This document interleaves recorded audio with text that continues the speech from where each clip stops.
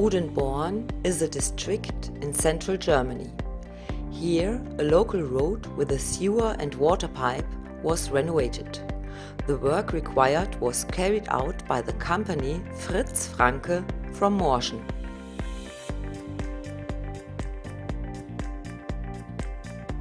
Traditional compacting machines, such as roller conveyors and hand-guided vibratory plates, were used to compact the frost protection layer and topsoil.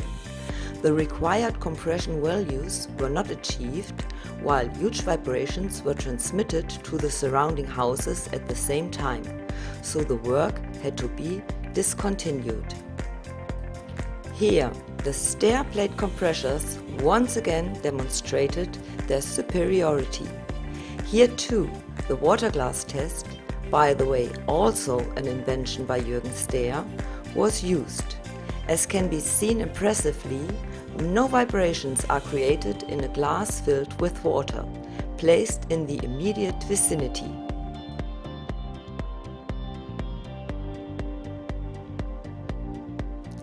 The patented suspension to the carrier unit allows the weight of the non-oscillating upper part to be adjusted continuously to the vibrating lower part of the plate compactor.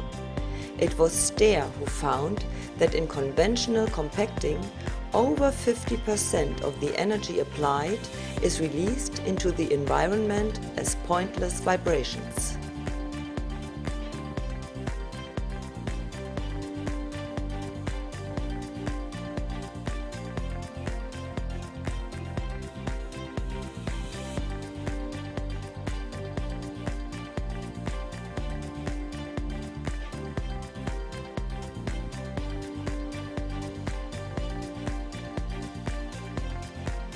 As a result, cracks have often arisen in the facades of houses or in buildings in the immediate vicinity. Valuable energy which is not only lost but also causes damage. Listen to the foreman from the company Franke, Mr. Gebauer. I am here on the foreman site. We had started on the excavation work and it was dry, yes really dry.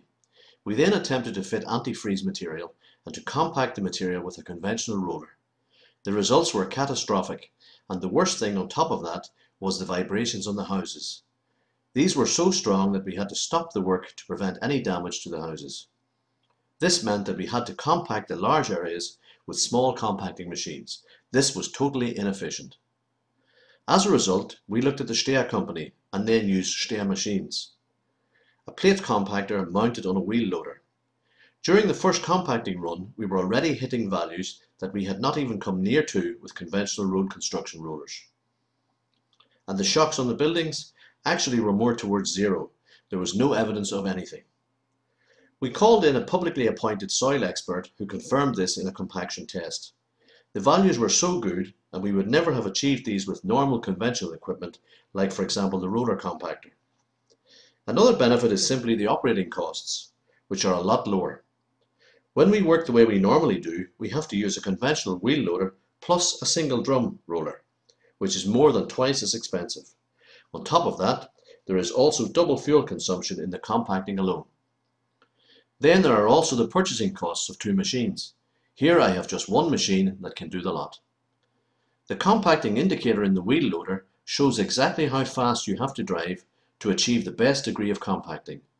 The conventional rollers also have devices indicating how high the compacting is, but these are much too complicated for the driver. Here you can already see when driving what the compacting process looks like and how fast you have to drive. This means you can also dispense with one or other of the compacting runs because you can see immediately that the compacting value of the material has been achieved. That is also a tremendous benefit. Yes, and it also indicates if the driver, for example, starts and drives too fast, the display goes down. In some mm. cases then out of the green range and then he can immediately switch back. He can say he will drive a little more slowly again. When the display is moving in the green range, excellent compacting is always guaranteed. Stehr plate compactors setting new standards in compacting. Faster, better, more efficient. with 50% less energy input, with 50% fewer pollutant emissions and 50% less CO2 production. That is our commitment to a better, more sustainable environment.